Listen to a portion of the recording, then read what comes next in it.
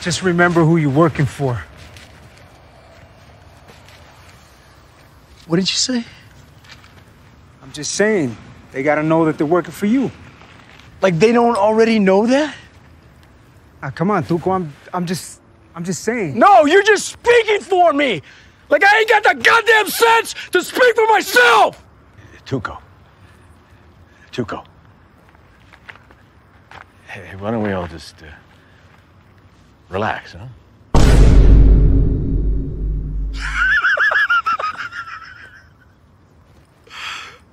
Heisenberg says relax.